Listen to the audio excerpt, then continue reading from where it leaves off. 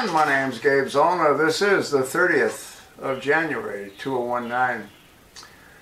After you uh, listen to this uh, video, you might find yourself emptying your cupboards of certain products. Put up by CBSN Live, there's an embedded video you may want to take a look at. It was again published on the 30th. Title, New Report Finds Heavy Metal like Arsenic and Lead in 45 Packaged Fruit Juices. Some popular fruit juices may contain heavy metals according to a new report out Wednesday morning.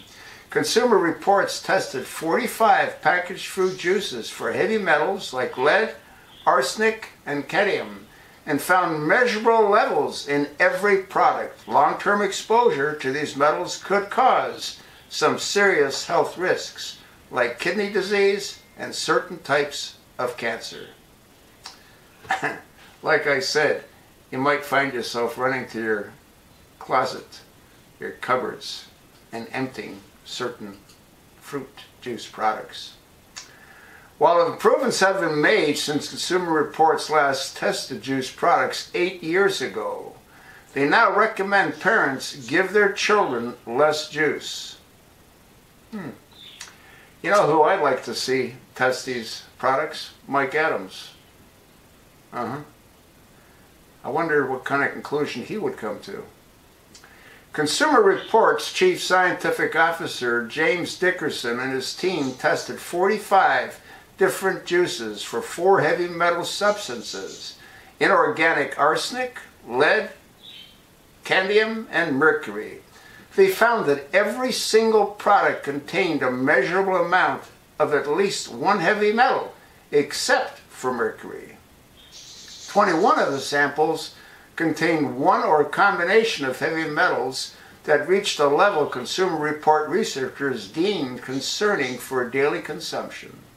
They said the metals found in seven of the 21 samples had the potential to harm children who drink only a half a cup per day. According to the CDC, long-term exposure to heavy metals may put people at risk for kidney disease, diabetes, high blood pressure, damaged ability to learn any certain type of cancer. Consumer Reports is recommending parents lower the amount of juice they give their kids. How about down to zero?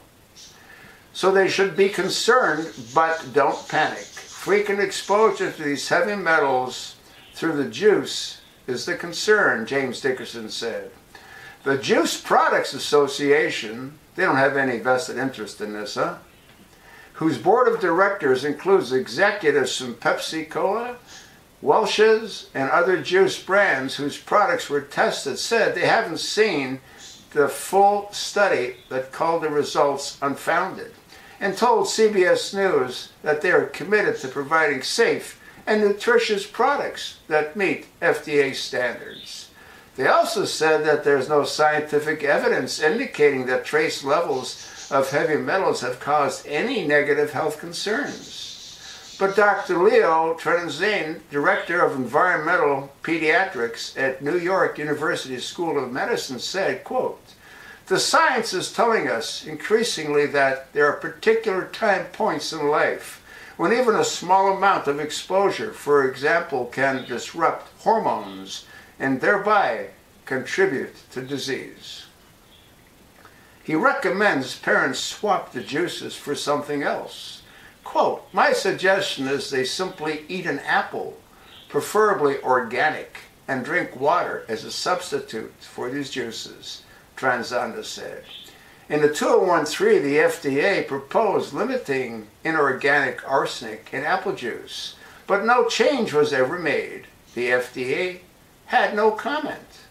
Consumer Reports said their findings are a spot check and should not be used to draw definitive conclusions about specific brands. CBS News reached out to all the juice companies. Ten responded saying their products are safe and follow all food safety guidelines.